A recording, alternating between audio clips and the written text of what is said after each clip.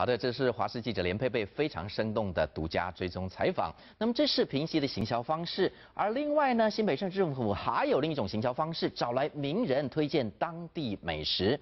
在新店住了一个宅男的偶像女神，叫做这个豆花妹，她就介绍了在当地啊有一家酸菜白肉锅，让她吃了会流眼泪。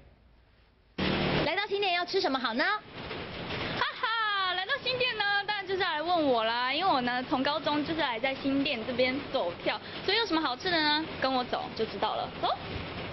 跟着豆花妹走进新店市区的这一间餐馆，才踏进去，扑鼻而来的酸菜香就让人大流口水。著名就是酸菜跟白肉锅嘛，那我就一定要吃到它的酸菜跟白肉。对，来吃一下。热腾腾的整锅才刚端上来，豆花妹直接先拿起碗筷吃了再说。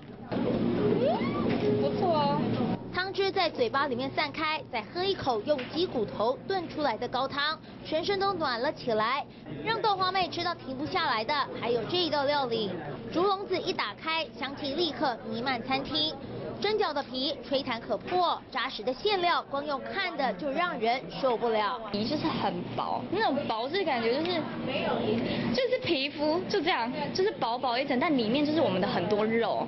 老板说，这些蒸饺全是他亲手做的，从擀面皮到里面用后腿肉和虾子和成的内馅，新鲜料多，包准你一吃就会成主顾。像这一间隐身巷弄的餐厅，在新北市真的很多。为了推广美食，新北市府每个月都邀请住在当地的名人来带路。首坡找来女神豆花妹，就是因为她从小就住在新北市。